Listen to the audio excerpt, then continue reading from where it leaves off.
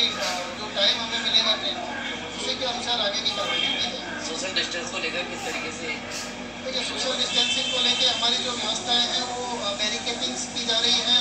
जो बोले हमारे सोशल डिस्टेंसिंग के वो बनाए जा रहे हैं। उनके ऊपर सोशल डिस्टेंसिंग का पालन करते हुए सभी जो हमारे श्रमिक भाई आएँगे और जो दूसरे लोग उनको पर्याप्त सोशल डिस्टेंसिंग और सुरक्षा मानकों का पूरा करते हुए हम लोग यहाँ से सकुशल अपने घरों तक हमारे